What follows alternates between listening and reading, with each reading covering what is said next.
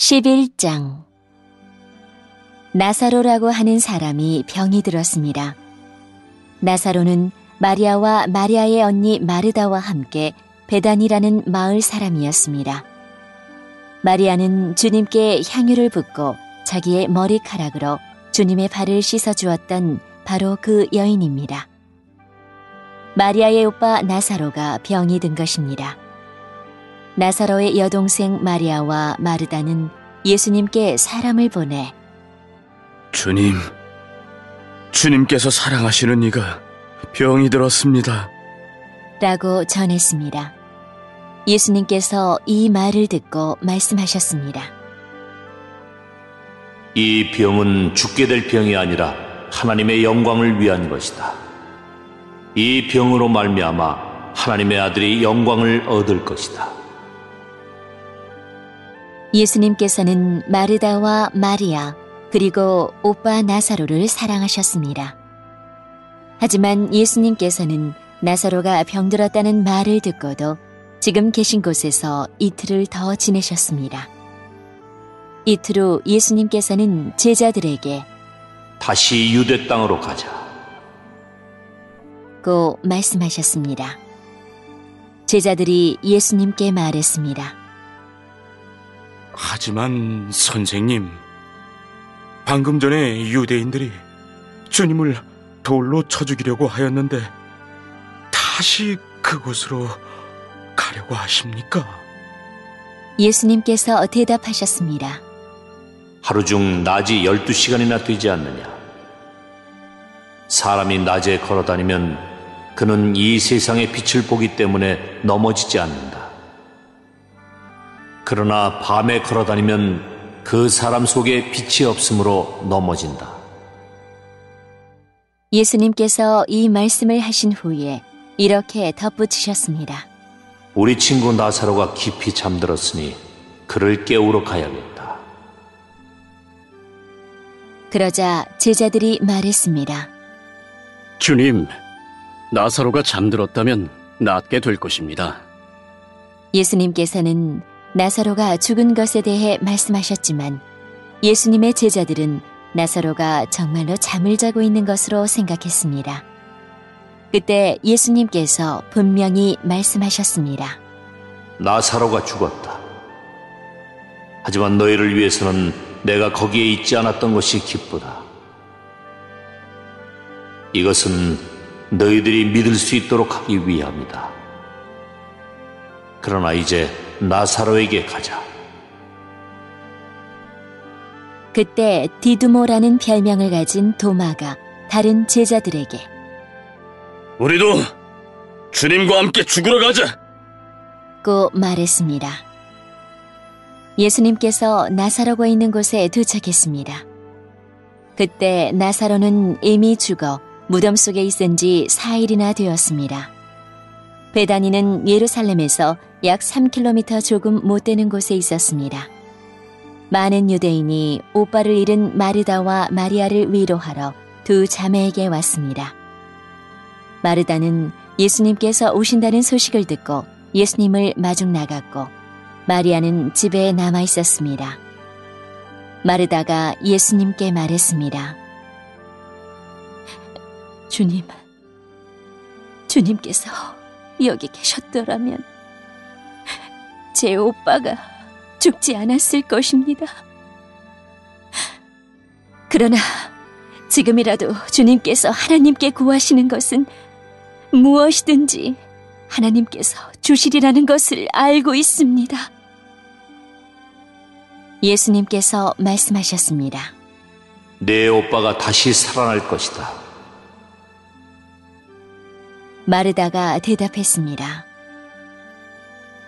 마지막 날에 있을 부활 때, 제 오빠가 다시 살아난다는 것을 제가 압니다. 예수님께서 마르다에게 말씀하셨습니다. 나는 부활이여 생명이다. 나를 믿는 사람은 설령 죽는다 해도 살 것이며 살아서 나를 믿는 사람은 그 누가 되었든지 결코 죽지 않을 것이다. 네가 이것을 믿느냐? 마르다가 대답했습니다. 네, 주님. 저는 주님께서 그리스도이시며 세상에 오시기로 한 하나님의 아들이심을 믿습니다. 마르다는 이 말을 하고는 집으로 돌아갔습니다. 마르다가 마리아를 따로 불러내 말했습니다. 선생님이 여기 오셔서 너를 찾으셔. 마리아는 이 말을 듣자마자 바로 일어나 예수님께로 갔습니다. 예수님께서는 마을로 들어오지 않으시고 그때까지 줄곧 마르다를 만났던 곳에 계셨습니다. 마리아와 함께 집에 있으면서 마리아를 위로하던 유대인들은 마리아가 일어나 황급히 나가는 것을 보았습니다. 그들은 마리아의 뒤를 따라 나오면서 마리아가 통곡하러 무덤에 가는 것이라고 생각했습니다. 마리아는 예수님께서 계신 곳으로 갔습니다. 마리아는 예수님을 보자 그의 발 아래 엎드려 이렇게 말했습니다. 주님! 주님께서 여기 계셨더라면 저희 오빠가 죽지 않았을 것입니다. 예수님께서 마리아와 마리아의 뒤를 따라온 유대인들이 우는 것을 보셨습니다. 예수님의 마음은 격한 감정이 들면서 몹시 아프셨습니다. 예수님께서 말씀하셨습니다. 나사로를 어디에 두었느냐? 그들이 대답했습니다. 와서 보십시오, 주님. 그러자 예수님께서 눈물을 흘리셨습니다. 그것을 보고 유대인들이 말했습니다. 예수님께서 나사로를 얼마나 사랑하였는가 보아라. 그러나 그들 중에는 안 못 보는 사람의 눈도 뜨게 한 사람이 나사로가 죽지 않게 할 수는 없었나? 라고 말하는 사람도 있었습니다. 예수님께서는 몹시 아픈 마음으로 무덤에 가셨습니다. 그 무덤은 입구를 커다란 돌로 막은 굴이었습니다. 예수님께서 돌을 옮겨 놓으라. 고 말씀하셨습니다. 죽은 나사로의 여동생 마르다가 예수님께 말씀드렸습니다. 주님, 오빠가 죽어 무덤에 있은 지 이미 4일이나 되어 냄새가 심하게 납니다. 예수님께서 마르다에게 말씀하셨습니다. 네가 믿으면 하나님의 영광을 볼 것이라고 내가 너에게 말하지 않았느냐? 그래서 사람들이 입구에서 돌을 옮겨 놓았습니다. 그때 예수님께서는 고개를 들어 하늘을 보시며 말씀하셨습니다. 아버지, 지금까지 제 말을 들어주셔서 감사합니다. 아버지께서는 언제나 제 말을 들으시는 줄을 제가 압니다. 그러나 저는 주위에 있는 이 사람들을 위하여 그들이 아버지께서 저를 보내셨음을 믿게 하기 위하여 이 말을 한 것입니다. 예수님께서는 이 말씀을 하신 후 큰 소리로 말씀하셨습니다. 나사로야, 나오너라. 죽은 사람이 밖으로 나왔습니다. 그의 손과 발은 천으로 감겨져 있었으며 얼굴도 천으로 둘러싸여 있었습니다. 예수님께서는 사람들에게 천을 풀어주어 다니게 하여라. 하고 말씀하셨습니다. 마리아에게 조문하러 왔던 유대인들은 예수님께서 하신 일을 보고는 그분을 믿었습니다.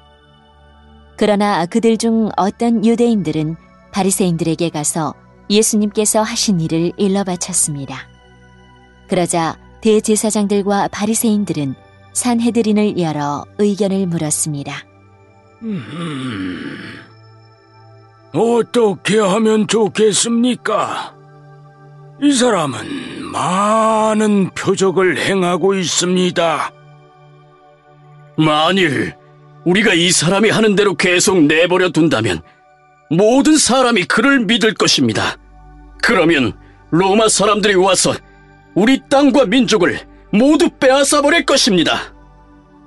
그들 중에 가야바라는 한 사람이 있었습니다. 가야바는 그 해의 대제사장이었습니다. 가야바가 이렇게 말했습니다. 여러분들은 아무것도 모르시는군요. 민족 전체가 멸망당하는 것보다는 한 사람이 백성을 위하여 죽는 것이 더 낫다는 사실을 깨닫지 못하십니까? 이 말은 가야바가 스스로 한 말이 아니었습니다. 그는 그 해의 대제사장이었으므로 예수님께서 유대 민족을 위해 죽게 될 것을 예언한 것이었습니다. 가야바는 예수님께서 유대 민족만이 아니라 사방에 흩어져 있는 하나님의 자녀들을 하나로 만들기 위해 죽으실 것을 예언한 것입니다. 그날 이후 유대의 지도자들은 예수님을 죽일 계획을 세우기 시작했습니다. 예수님께서는 더 이상 유대인들이 있는 곳에 공공연히 다니지 않으셨습니다. 예수님께서는 그곳을 떠나 광야 근처에 있는 에브라임이라는 마을로 가서 제자들과 함께 거기서 지내셨습니다. 유대인의 명절인 6월절이 가까이 다가왔습니다. 6월절이 되기도 전에 많은 사람들이 자신을 깨끗하게 하기 위해 시골에서 예루살렘으로 올라왔습니다. 사람들은 부지런히 예수님을 찾았습니다.